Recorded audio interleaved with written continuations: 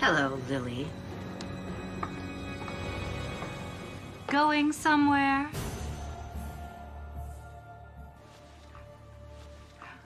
Leaving us so soon, and without giving two weeks' notice. Not very professional of you, as a nurse or a guardian. So you know. Yes, and my son tells me you went to see the council. I did. And I told them who you are. Oh, and let me guess. The council told you to stay away. They're wrong. The rules. There can be only one chosen one, hence the name Chosen One. It's not you. Maddie Van Pelt has my powers, and I will get them back. I'll stop you. I. Oh, is that right? You and your army of flies? I don't get it.